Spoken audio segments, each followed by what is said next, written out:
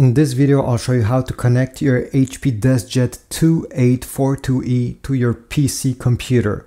And then I'll show you how to scan and also how to print using the Wi-Fi and your PC. So let's get started right away. The first thing is to put your printer into pairing mode if it's not already in it. So let's start by doing this. So your printer may already be into setup mode. To know that uh, if you're on this mode or not, you need to have the small blue light beside the Wi-Fi button clipping. If this is clipping, it just means that you're good to go to the next step. If it's not clipping, what you need to do is to press this X button and the Wi-Fi button during about two seconds, like this, one, two, and then release. This power button will blink and after a while it will stay solid and the Wi-Fi button will then start blinking. Also I forgot to tell you just put some paper inside of the printer because it will print two pages just showing you how to connect it uh, via Wi-Fi the same way that I'm showing you right now. You really don't need this but the printer will print those two sheets of paper. Okay, so now that it's in setup mode, let's go back on the Windows computer. Now on your PC, what you need to do is to download the HP Smart app by going on the Microsoft Store. Every PCs have a Microsoft Store and then type HP Smart on the search bar. Once you have found the app like this, go ahead and install it. If it's the first time you're using this app, you won't see any printers on the top. You'll have a big button that says add a new printer. If you see that button, go ahead and click on it. If you don't see that button and you see uh, some printers, go ahead and you simply need to swipe, okay, until on the left side you see the button add a printer. Click on this If your printer does not appear in the list you're seeing on your screen, uh, press on my printer isn't listed. If not, you see here it may appear quite late, so press on setup once you see the name of your printer, then press connect or continue here. Press continue. You may had to enter your Wi-Fi password on the last step if they ask you. If not, just continue. And now just in a few seconds, they'll ask you to press on the I button on your printer. Let's just wait until they ask. Okay, you see, they ask to press the I button.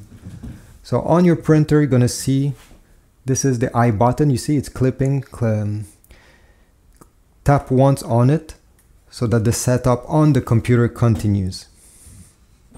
Then once you see the green check mark, it, need, it simply means that the printer is connected to your Wi-Fi. So press continue, then press continue.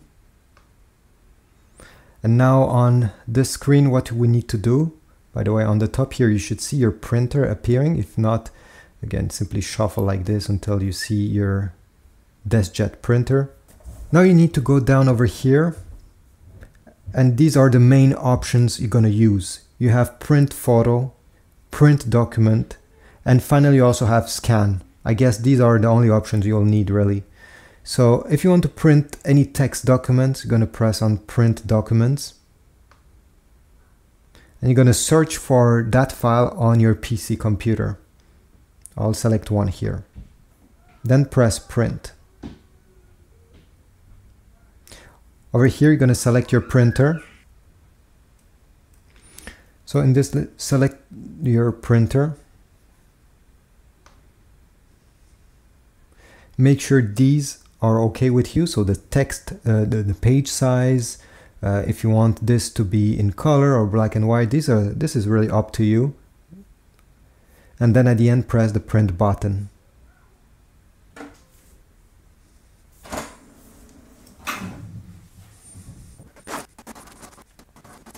And here we go we have our print. Now let me show you how to scan. So over here, we're gonna open the scan lid and place your document. Here I have already a, a picture. Place it facing down with the top part of this page on the right side. Then align this corner with that corner of the scanner by dragging like that until it touches. close the scan lid and let's go back on the PC.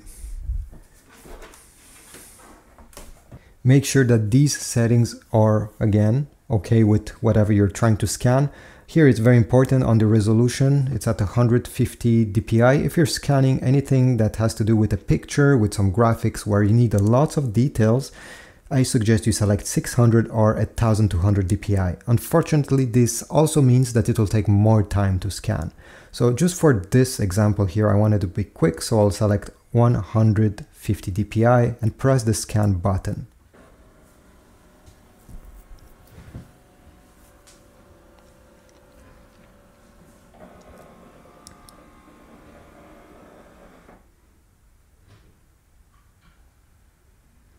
Here we go, we have our scan. And if your document has multiple pages, let's say you have five different pages you want to combine in one PDF, you're gonna press on the add button here after you have removed this page and put the next one.